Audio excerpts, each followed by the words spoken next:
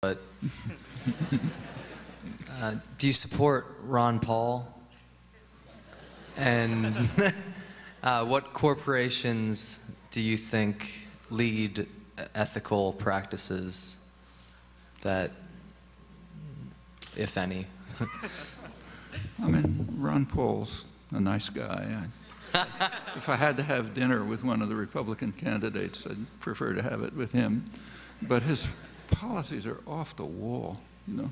I mean, sometimes I agree with them, you know, like I think we ought to end the war in Afghanistan. But if you look at the other policies, I mean, it's kind of shocking. Uh, so, for, and, and, the principles that lie behind them, you know, I, I don't know what to say about them. So let, uh, you probably saw or maybe read in the Republican debates at one point, and this kind of brought out who he is. Yeah.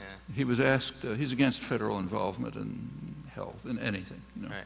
He was asked uh, something like, uh, well, what about, what if some guy's in a coma and uh, uh, he's going to die and he never took out insurance? What should happen?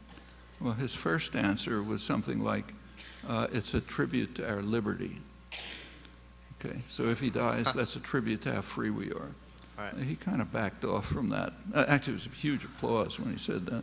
But after later reactions from elsewhere, he backed off. and said, well, uh, the church will take care of them or charities will take care of them or something or other, so it's not a problem. Right. I mean, this is just savagery.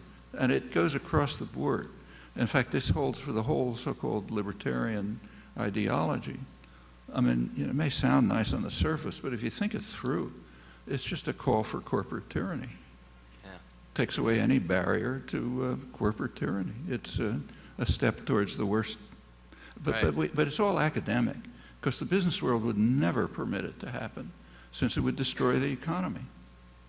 I mean, they can't live without a powerful nanny state. They know it. You know. Yeah, I like how you said. Uh,